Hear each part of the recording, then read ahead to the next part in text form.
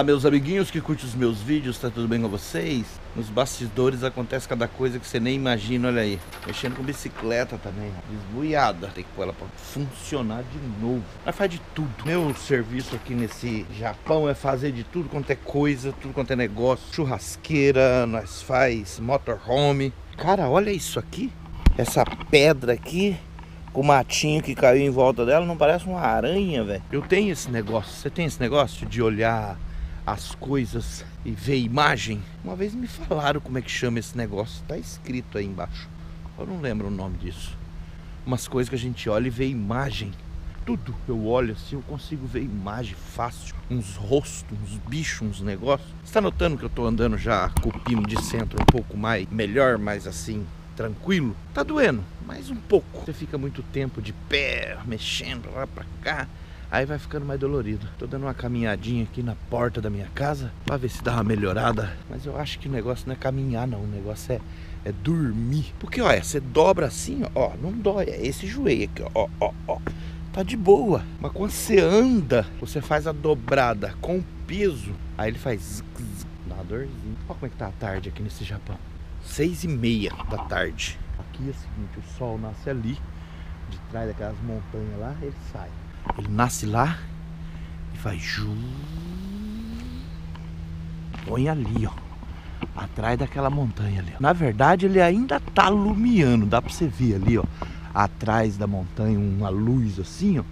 Você sabe que se você subir lá em cima da montanha e olhar lá por cima, você ainda vê uma rabeta dele. Essa montanha ela é muito alta, ela esconde a luz do sol e isso aqui que você está vendo aqui por lado de cá, praticamente uma sombra. Se fosse uma planície, ainda dava para ver o sol lá longe sumindo. Ó que interessante, velho. Seis e meia da tarde aqui e já tá apontando no Brasil, né? Porque no Brasil, seis e meia da manhã, o sol já tá lá estralando, não tá?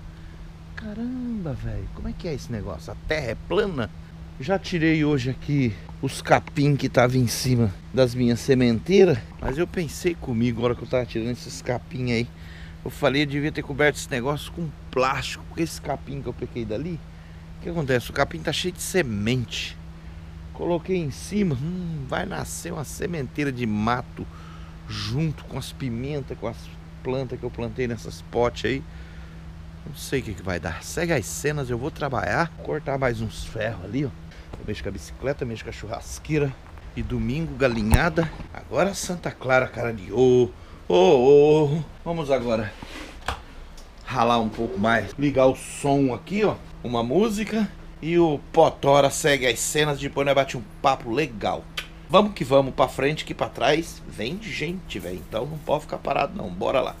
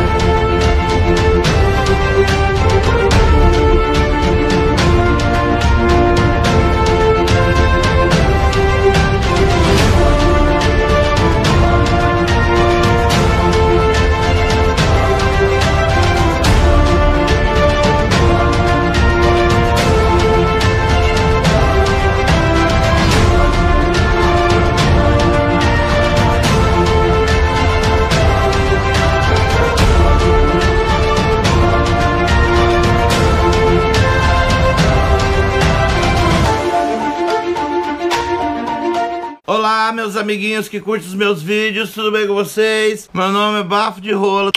Beijo, eu amo todos vocês. Que satisfação enorme ter vocês aqui no meu canal. Enganei você, né, velho? Você pensou que era uma mulher de verdade? Vai arrumar uma parceira, homem. Sentiu o prazer de ver a loirinha? Oi, galera. Eu sou a Rucinha, que estuda português. Meu nome é Olga. Você conhece o canal dela? Top, hein? Por falar em canal, JJ88. Não sei porque o cara bota esse nome no canal dele. Que ali mostra as coisas da roça, lá do Brasil, quando eu vivia aí. Nossa, ele vai visitar um pessoal no sítio conversa com os tiozinhos, eles comem umas comidas doidas, mostram uns negócios legais, as coisas que nós gostamos. Eu gosto, negócio de roça. Eu fico assistindo direto, JJ88. Cessa aí, pô. Tá com preguiça, mané? Se inscreve lá no canal do menino, que ele também tem uns conteúdos bons demais da conta. E eu tava aqui, rapaz, fazendo uns trabalhos. Calma aí. Tá fazendo trabalho nenhum, não. Tá trabalhando. Ó minha mão, como é que tá? Suja, preta. Eu tô comendo com as unhas pretas, você fala, credo, que nojeira, Zé. É o meu jeitão, é assim mesmo. Você já viu mão de mecânico? Alô, Marquezinho, um abraço pra você, meu lindo. Marquezinho posta uns vídeos pra mim abrindo latinha de cerveja. Sclec, sclec, aquele dedão preto dele aparece do outro lado. Mão de mecânico, não limpa, velho. Você vive nesse condomínio fechado aí, você não aguenta ver uma unha preta, pra você já é nojento, né? Tá bom, tá bom, cada um na sua. Come o seu niggas que eu como a minha coxa de frango caipira, que é cebolado com polenta. Pois é, galera, hoje eu tava mexendo com bicicleta. Deixa eu te contar uma coisa que você não sabe. No Brasil, eu era bicicleteiro, sabia disso? Meu serviço, que eu trabalhei um grande tempo, era esse aqui, ó. Torneiro repuxador. Esse serviço aqui, ó. Réu, réu. Gotava aqui assim, fazia na raça. Fazia panela, prato, copo, marmita, cardeirão, um monte de coisa. Fazia tudo de alumínio no torno de repuxo. Nós trabalhávamos por, por peça, velho. Nossa, menino. Sabe aquele copinho de alumínio que a gente compra, esse copinho aqui, ó? Esse copinho aí dá pra fazer a mesa 600 copinhos por dia. Marmita, essas marmitinhas comum aqui, redondinhas assim, ó. Dá pra fazer também umas 600, 700 marmitas dessas por dia. Rapaz, era um coisa de louco, hein?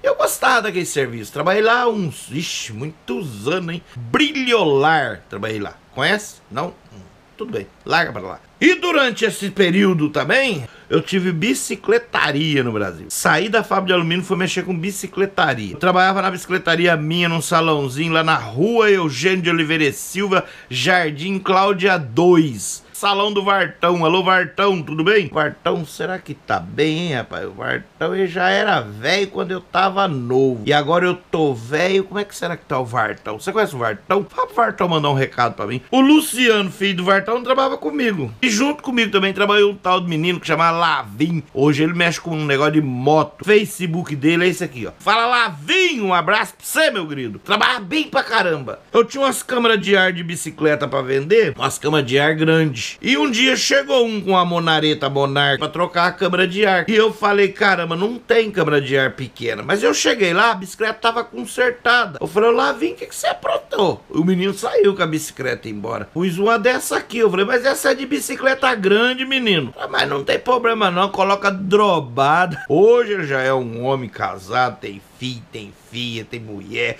tem amigo. Opa, desculpa aí, Lavim, falei merda, né?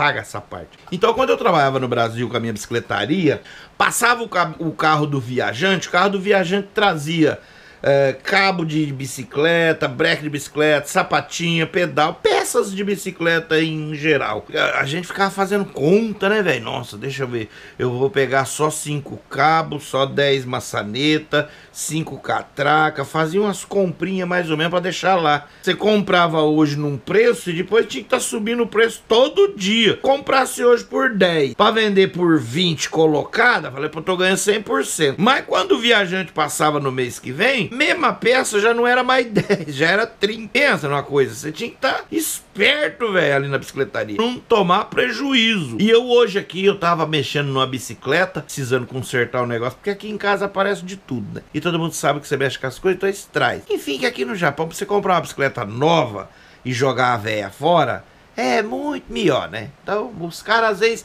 traz aqui em casa a véia Fala, ah, pega com essa bicicleta aqui, que eu vou comprar uma nova. Aí deixa a bicicleta boazinha, larga aí, pra jogar fora. Aí eu tava mexendo na bicicleta, eu tava lembrando, quando eu morava no Brasil, que eu tinha minha bicicletaria. Porque lá no Brasil a gente aproveitava, né, porque é caro. Aquele estrambulador de passar a marcha, Shimano, caro pra caramba. Você desmontava, consertava, engraxava, recondicionava a catraca. Abra a catraca com cuidado, põe uma borrachinha atrás do cri-cri. Funcionava bem com a borrachinha. Rapaz, quanta coisa que a gente tinha que arrumar. Pneu velho, colocava um outro pedaço de pneu por dentro para tapar o buraco. Colocava umas camas de ar remendadas 345 vezes. Que no Japão, quando eu chego aqui e vou mexer com essas coisas que eu fico lembrando, ainda não saiu de mim aquele negócio de falar, puta, isso aqui aproveita. Dá dó de jogar fora. A peça que eu desmontei da bicicleta, eu falei, não, não vou jogar fora o negócio dele. Isso aqui é caro, pô.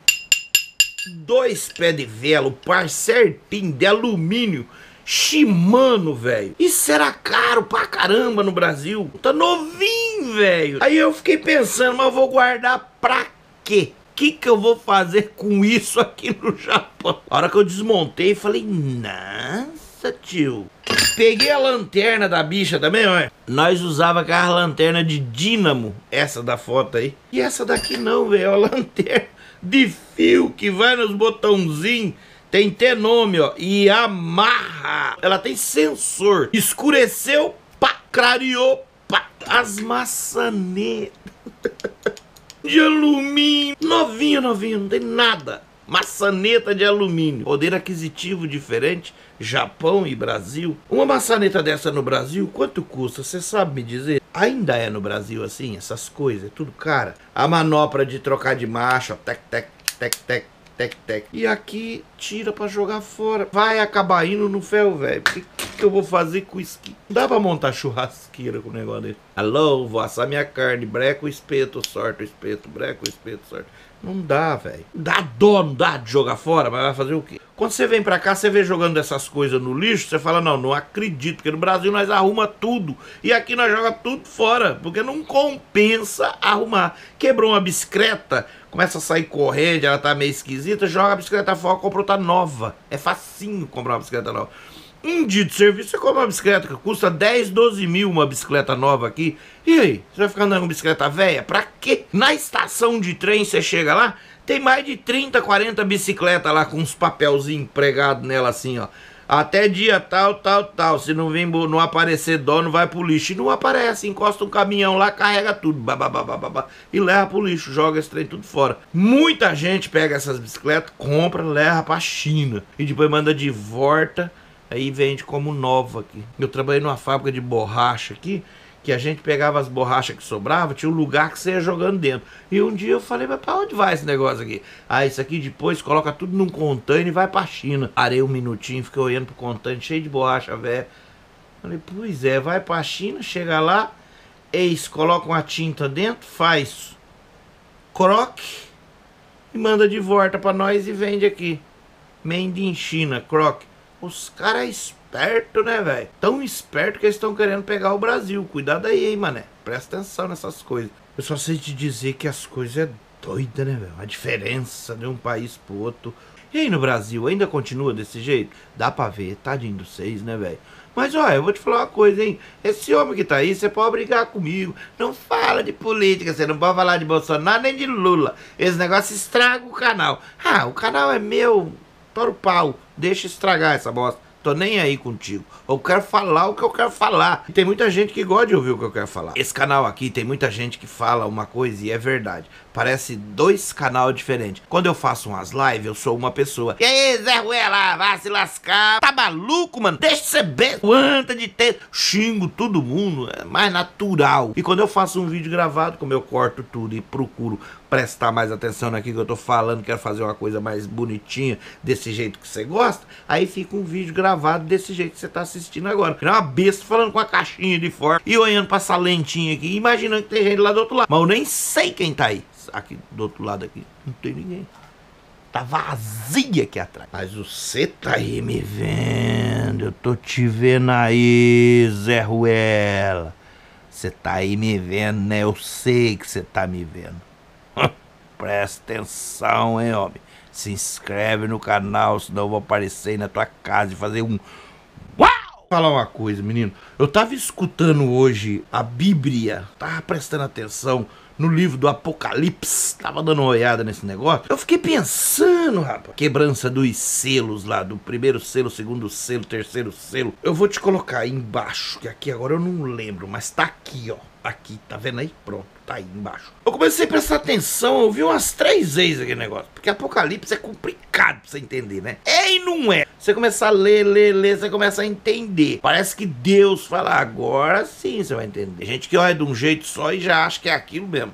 Olha que Zé Ruellen, já troquei de serviço, bicicleta e agora a Bíblia. Mas vamos lá, tora o pau. Assuntando o negócio do Apocalipse, o selo, sabe? Antigamente, na época de Cristo, quando eles mandavam uma carta, um rolo, ele era fechado com selim de barro. E aquele selim, só quem era o dono do bagulho podia quebrar para poder abrir o negócio. Era o esquema da época. Aí o rei carimbava, pra, pra, apertava o seu anel assim naquele barrinho para ficar marcado e aí pronto, ninguém podia quebrar, porque se chegasse lá no cara já tivesse quebrado, quem que abriu minha cartinha, ele já ia saber. Então era selado o bagulho. Então a Bíblia eh, vem tudo dessas histórias antigas. Então no Apocalipse tem a, a, a fala lá do, do, dos sete selos. Ninguém podia abrir essa carta, mas aí apareceu pela história do Apocalipse, é Jesus Cristo chegou tal, o cordeiro disse que vai abrir, quebrar o selo. Aí eu fiquei assuntando, velho. Volta no que eu tô falando e depois você me fala aí embaixo. Se não tem alguma coisa a ver, assim, é esquisito. Muita gente fala muita coisa, velho. Você não sabe quem fala o que é. Então eu posso falar o que eu penso. Não tô dizendo que é isso. Tô falando que é o que eu penso. O que eu comecei a imaginar. Você tá entendendo? O primeiro selo foi quebrado. Eu vi uma voz forte como a de trovão que chamou, venha. Aí vem, tá escrito lá, lê lá pra você ver no Apocalipse. Aí veio um cavalo branco e nele tinha um homem com uma coroa, um arco, e ele veio vencendo. Aí eu fiquei assuntando, Falei, um, um cavalo branco, foi o primeiro selo, quebrou, aí veio vencendo. Veio vencendo. Falei, uai, tem alguma coisa a ver esse negócio hoje em dia. Será que, não tem, será que esse primeiro selo já não foi quebrado? Porque, olha, vem cá comigo. Não, você não, não, não discute comigo negócio de política. Dá licença, deixa eu falar. Nós tem que falar um negócio aqui do meu pensamento. Aí você vê o seu. Eu vejo uma coisa muito absurda que é esse presidente que está no Brasil agora, que o cara, quanto mais bate, mais ele cresce. Você já viu como é que é o negócio, né? Onde ele vai, ele junta gente, ele mete a boca, ele tá falando, e ele vai com as coisas certas, sem errar. Ele não tá fugindo de nada, o pau tá atorando, e ele tá tendo apoio. Ele vem vencendo, cara. Ele é sozinho contra um sistema mundial. Tá entendendo o que eu tô falando? Não tá entendendo, velho. Eu acho que você não tá entendendo. Mas ele tá sozinho contra o sistema mundial, velho. Ele vem rebentando. Você lendo, às vezes dar a impressão que parece que o primeiro selo foi aberto e parece que esse aí vem fazendo parte, né? Porque vem vencendo, ele vem arrebentando. Ele vem trazendo de tudo. Vai dando tudo resolvendo, vem guerreando e vem fazendo um regaço. Aí depois vem o segundo selo. Venha! Aí vem um cavaleiro, esse cavaleiro é vermelho, ó. Ó. Esse cavaleiro é vermelho e ele veio com poder de guerra. Fazer os seres humanos um matar os outros, um negócio esquisito. Dá a impressão. Não, presta atenção Escuta o que eu tô te falando, presta atenção. A minha ideia. Ah, Zé Ruela, você tá viajando, velho. Deixa eu viajar, só escuta o que eu tô falando. Ora, velho, todo mundo tem que ter uma ideia. Você tem uma ideia louca aí que você comenta umas besteiras, o outro tem uma ideia lá é doida, outra. Cada um tem uma ideia. Essa minha é doida. Escuta o que eu tô falando, só escuta. E depois você olha e fala. Deixa esse cara, ele é louco. Pronto. Ou tem gente que escuta e fala: Rapaz, será que o Zé Ruela tá falando umas coisas, parece que é verdade? É isso aí que eu quero falar pra você. Então ele vem vencendo.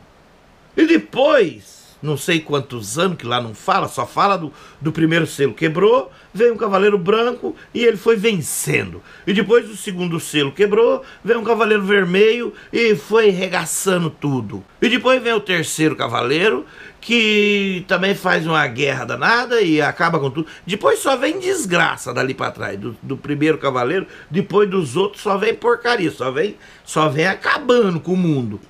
E eu comecei a assuntar essa história. Eu falei, caramba, será que esse primeiro selo já não foi quebrado? Tem gente aí que fala, não, Zé Ruela, o primeiro selo já foi quebrado há tanto tempo atrás, foi lá na, na época do hit, eh, eh, foi lá naquela época que aconteceu. Não, meu filho, não, eu acho que não, porque aquilo lá faz muito tempo. E mais para trás também tem muita coisa. Fim, velho. Esse negócio de apocalipse é complicado. Ali fala de umas coisas que vai acontecer e, e, e, as coisas esquisitas que fala que vai acontecer, muitas delas já teve. Será que foi aquela? Ou será que é da agora para frente? Mas tem uma que fala lá, que fala que vai cair uma estrela do céu. Porque o João, quando ele estava na ilha de Patmos, ele estava vendo o que estava sendo mostrado para ele, ele estava escrevendo. O João, tadinho do João, 3 mil anos atrás. Aí Deus leva ele, vai para uma viagem no tempo e ele começa a ver as coisas do tempo de hoje. E fala, escreve aí, Zé Ruelo, o que eu tô te falando, o que eu tô te mostrando. Como é que o cara ia escrever um negócio desse? Há 3 mil anos atrás. O cara viaja pro tempo vem agora. Ele vê um helicóptero, como é que ele vai escrever? Vi uns gafanhotos enormes voando pelo céu e eles cagavam em cima do povo e destruía as nações. Um helicóptero sortando bomba, eu vejo assim. Tem alguma coisa esquisita nisso? Acho que não, hein? Então ele escreveu do jeito que ele via. Por isso que ele escreveu desse jeito que ficou meio esquisito para entender. Então ele fala que caía estrela do céu. Mas caramba, caía estrela do céu? Como assim as estrelas vai caindo? Pensa numa chuva de meteoro, parece umas estrelas caindo.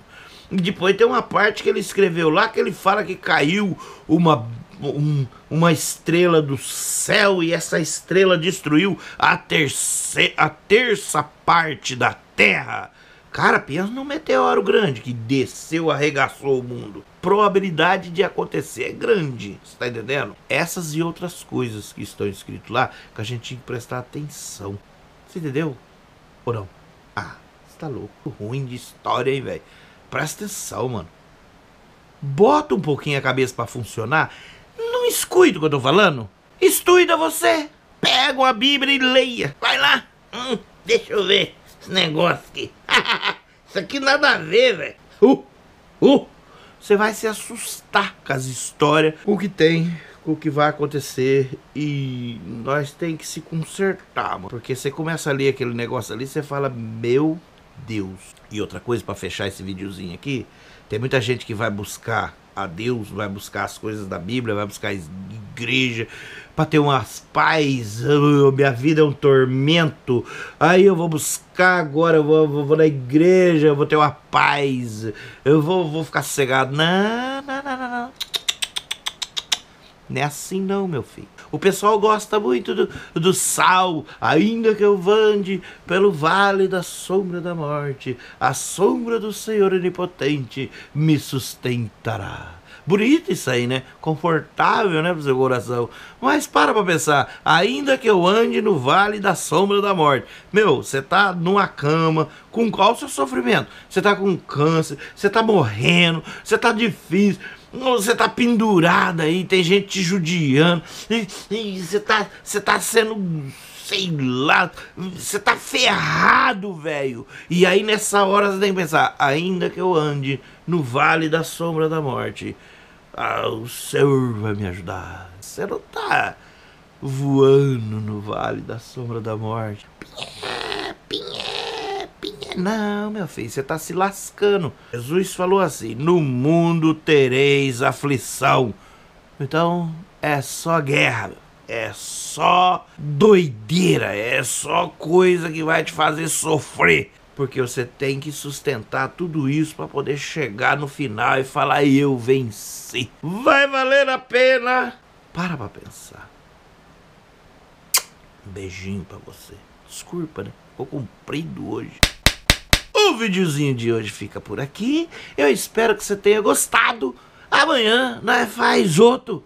Segue as cenas do próximo, porque o outro vai ficar, acho que melhor do que esse, dependendo dos comentários que você escrever aí embaixo. Se você falar merda do outro, eu vou falar merda. Se você falar umas coisas de amores, eu vou falar as coisas de amores. E comenta aí embaixo o que você acha dessas histórias, da bicicleta, do, do, do, do Brasil, do Japão, do Lula, do Bolsonaro, do, do Daniel Silveira agora. Tá, tá tá dormindo no Palácio do Planalto, Daniel Silveira. Força na peruca, meu. Um beijo para vocês. Tchau. Obrigado, seu Nutella.